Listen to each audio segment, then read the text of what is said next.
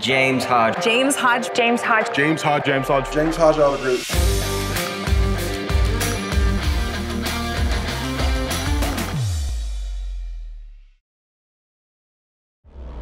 Coming from asphalt racing and basically circuit racing, I just got asked by a sponsor if I wanted to run the Chili Bowl, and I was kind of like, yeah, sure. Like, I have no idea what this thing is.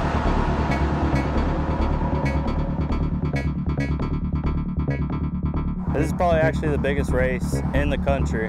Everybody wants to win a driller, have it on their mantle.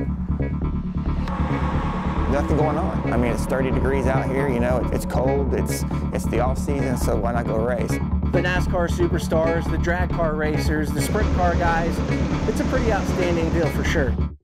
The track's small enough that no one can really ever get away. The best equipment, the best motors, we have the best people around, so uh, we're going to make a really solid effort at it this year.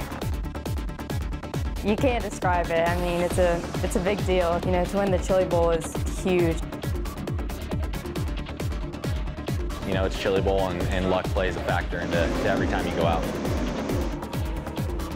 Man, it, it's the Super Bowl. I mean, that, that's the best way to describe it. It's hyped up so big. The caliber of guys there in the main event is just, there's a lot of people that can win.